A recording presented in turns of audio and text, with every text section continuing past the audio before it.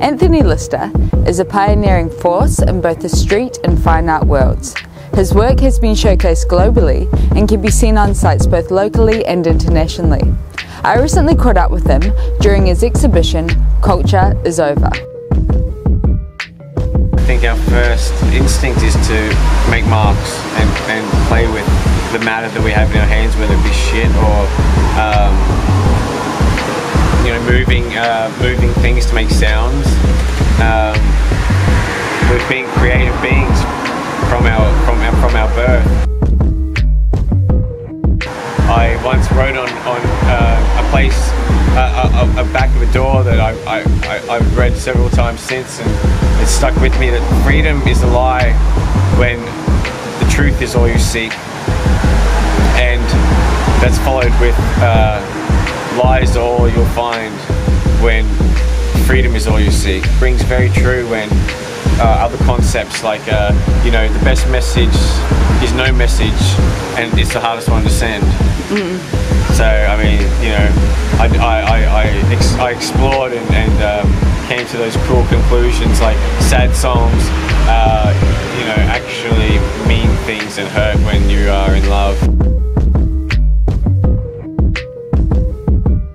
To have started traveling so early and uh, developing networks of you know like-minded um, peers and friends um, you know in the same like uh, you could call it the industry but back then maybe it was more like a subculture a hobby uh, you know um, a, a, network of um, people.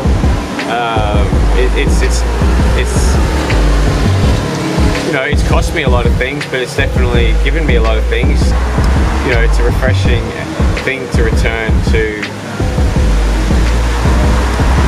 your homeland or you know what's familiar because many things that were once um, important uh, you realize are quite superficial you know it's nothing like living out of a suitcase uh, for a couple of months to realize that uh, you don't need a lot in order to be happy and survive at least.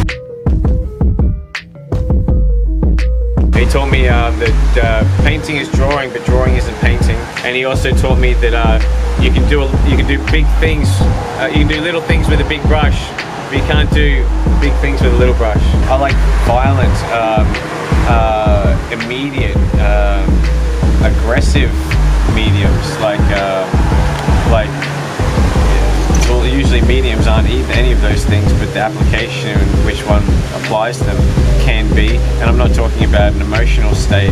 I'm, I'm referring to um, like the force in which mediums are propelled from tools. Yeah. So yes, paint is good. Spray paint is good. Yeah. Usually I'll have a I'll have a, rough kind of theme.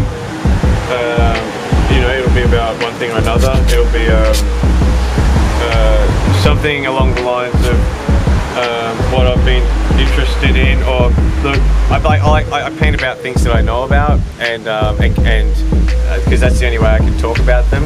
And usually, uh, I want to talk about things that I'm passionate about, and whether that's um, you know disruptions in society, or um, you know uh, beautiful things in society, or society or not society.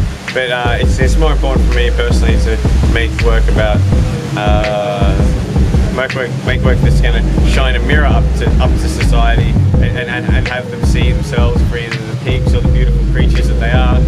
You know, I'm, I'm, I'm I'm lucky to be an inventor. You know, I'm, lucky to be able to explore uh, antimatter and uh, water and concepts and uh, and you know my my uh, interests or uh, fascinations, my fixations, my um, obsessions.